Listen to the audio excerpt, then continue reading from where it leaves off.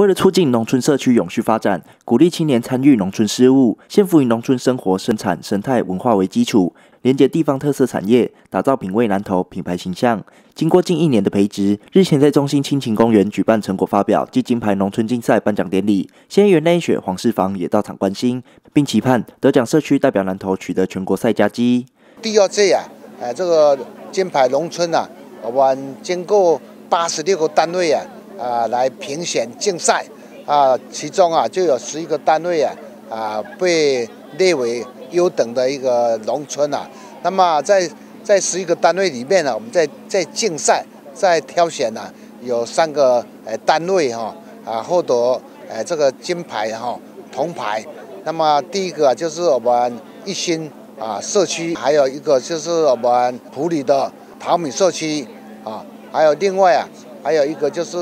啊，我们南通社区仁爱的南通社区啊，三个单位啊，啊获得金牌、铜牌哈。普里淘米休闲农业区理事长黄信豪表示，此次也整合在地社区、休闲农业区等，将整个淘米的生态、生活等都展现出来，希望能够更加推广。这次我们整个淘米所创造的一个新的亮点，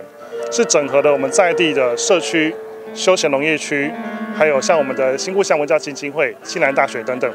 我们把我们整个桃米生态村的生态、农业、生活、生产，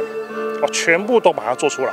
我们就是要透过这种多元的模式，把它给推展出来。先云内学表示，此次有众多社区前来参赛，而社区内有许多农产品，也希望借由选拔的方式，得奖的社区能够代表南投取得全国赛佳绩。我们南投品味南投金牌农村的这个表扬大会，看到我们来投来自南投县有好多个社区参与，那么我们要选出我们的金牌、银牌、铜牌来参与中央的一个呃全国竞赛，也展现出我们南投县社区文化的一个软实力哈。尤其在社区里面有很多的农特产品，透过我们的形塑包装创意呢，能够将我们的产品带入导入生活当中，也让我们的这个农村生活更充满着这个朝气跟活力。我想有底蕴的一个农村生活。特色才能够展现南投观光首都的一个魅力，所以今天是我们金牌农村的表扬。燕雪带着满满满的祝福，期盼我们这些代表南投县出去参与的这些社区都能够得到好成绩。透过农村再生引导，鼓励辖区农村参赛，共有八十六个农村参加。在第一阶段的书面审查及第二阶段的现场访视侦查后，